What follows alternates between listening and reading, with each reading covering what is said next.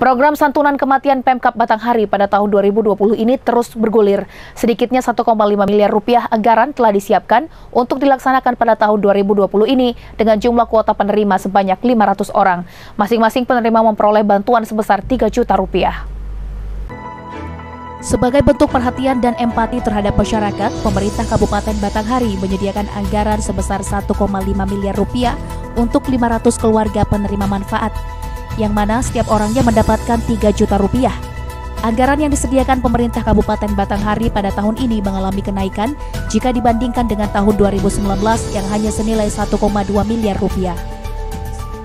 Kepala Seksi Bansos dan Taman Makam Pahlawan Dinas Sosial Batanghari, Mudiarnis mengatakan, dari 500 orang kuota yang dianggarkan untuk santunan kematian, sebanyak 236 orang telah mengajukan untuk anggaran santunan kematian.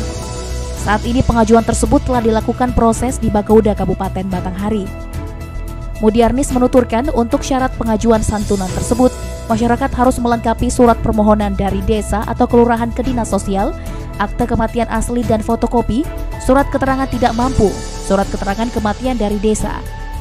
Selanjutnya fotokopi KTP meninggal dunia, fotokopi kakak lama dan baru, surat kuasa bermaterai 6000, fotokopi dan kakak ahli waris, mengembalikan kartu KIS, akte kelahiran meninggal di bawah 17 tahun, dan melampirkan foto rumah yang bersangkutan dengan ahli waris. Sekarang ini tahun untuk tahun 2020 diajukan Bupati Alhamdulillah 1,5 M. Ya, jadi sekitar 5 untuk 5 orang atau 500 orang. 500? Ya, karena satu orang itu kan 3 juta. 3 juta.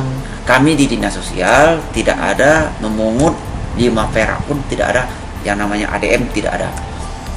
Jadi gratis untuk pengurusan ini? Gratis. Sudah tuh juga kami, saya secara pribadi, saya tidak menerima calo-calo. Bahkan keinginan saya untuk mengurus santunan kematian ini lebih tepatnya ahli waris langsung.